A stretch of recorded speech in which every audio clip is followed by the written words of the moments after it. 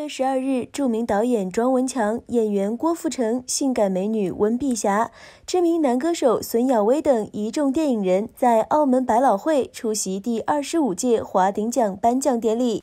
郭富城不负众望，再次摘下中国电影最佳男主角大奖。他坦言会遵从胜古欣然败亦喜的心态看待奖项，在日后的工作中必定再接再厉，不断突破自我。提及日前参加内地选秀节目的表现，被观众夸反差萌。程程表示，不排除将来会参加更多的综艺节目，但肯定不会与太太方圆一起上真人秀节目。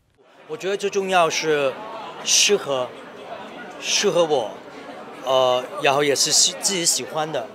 呃，可以去把自己的经经经验呢去承传出去，呃，承传下传呃承承传下去，快去，嗯，所以现在我也不知道，就是看缘分吧。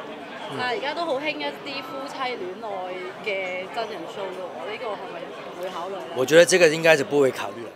温碧霞今天以颁奖嘉宾身份惊艳亮相盛會。一袭长裙飘飘的她显得仙气十足。她透露，现在正忙于准备下个月推出的写真，就连父亲节当天也要工作，所以不能陪伴老公。但相信儿子会给老公准备礼物。呃，我觉得他应该会的，因为他很有心思的。像我刚刚母亲节的时候，他也呃做了一个就是亲手做的一个 flower 给我，然后又就是字写了一个花给我，就特别有意思。而孙耀威则以颁奖嘉宾和表演者双重身份出席典礼。他表示，近期正在制作自己的国语专辑，希望每首歌的质量都可以达到主打歌一样。